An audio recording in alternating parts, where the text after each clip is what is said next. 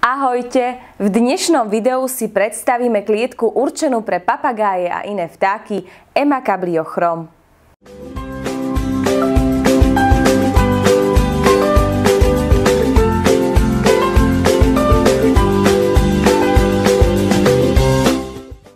Rozmery tejto klietky sú dĺžka 54 cm, šírka 39 cm, výška 73 cm, výška s otvorenou striežkou je 85 cm a hĺbka vaničky je 13 cm.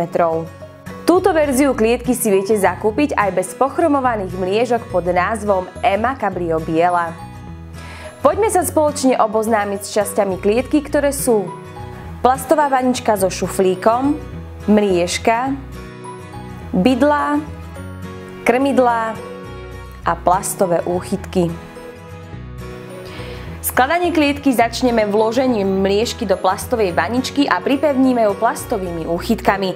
Ďalej nainštalujeme bydlá, najhrubšie z nich umiestnime na vrchnú časť striežky a ostatné tri bydlá na ľubovoľné mriežky.